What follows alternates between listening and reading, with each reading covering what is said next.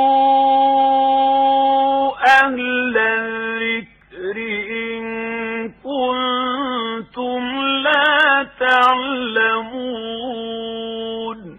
তোমরা যদি না জানো তবে জ্ঞানীদেরকে জিজ্ঞাসা করো আলহামদুলিল্লাহ সালাত সালাম আলা রসুলিল্লাহ কোরবানির পশু জবাইয়ের সময় দোয়ার ব্যাপারে প্রশ্ন আসছে তো এবং অনেকে কোল ইন্ন সালাতি অনুসুকি বলে যে আয়াত আসছে, পুরা ওটা পড়েন। এটার কোনো ভিত্তি আছে কিনা? উত্তর হলো এটা ওই যে এই কবরে মাটি দেওয়ার সময় যেমন আয়াতটারে ওখানে ওরা সেট করছে, কিন্তু আয়াত তো আয়াতের জায়গায় ঠিক আছে।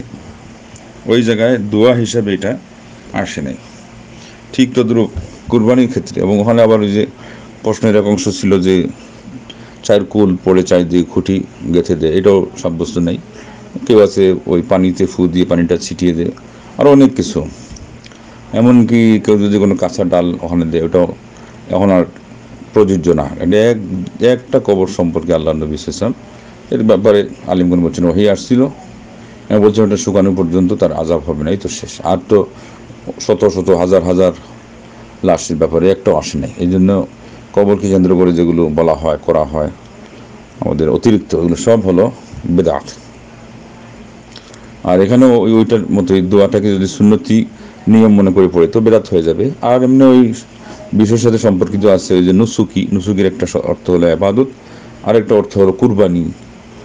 আর এটা সহ নামাজ, আবাদত, কুরবানি, জীবন, মরণ, তারপরে সব কিছু আল্লাহর জন্য যে ওইটা আর কি স্মরণ করতেছি।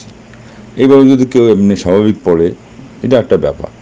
কিন্তু পুরো এলাকায় যখন প্রচলন হয়ে যাবে, তখন তো এটা এক দুইবারের বিষয় হয় না, স্বাভাবিক থাকে না। এটা হয়ে যায় নিয়ম, তখন বেদাতে এটাও চলে যাবে। এর বিপরীতে এখানে সুন্না কোনটা? যেটা সাব্যস্ত আসছে। আল্লাহ নবী ইসলাম থেকে আসছে যে উনি এমনি তো জবার সময় বিসমিল্লা আল্লাহ আকবার। আর বিসমিল্লা আল্লাহ আকবার এটা বলতেন। অথবা শুধু বিসমিল্লা বললেও হয়ে যাবে। কিন্তু কোরবানির ক্ষেত্রে বিসমিল্লা আল্লাহ আকবার পুরাটা আসছে। আর হলো আল্লাহম্মা মিন কাওলাক আয় আল্লাহ, এটা তোমার পক্ষ থেকে আর তোমার উদ্দেশ্যে। ওনার পক্ষ থেকে মানে এই যে টাকাটা আমি পাইলাম, যে টাকা দিয়ে কিনলাম, এটা আল্লাহর পক্ষ থেকে আসছে রিজেক হিসাবে।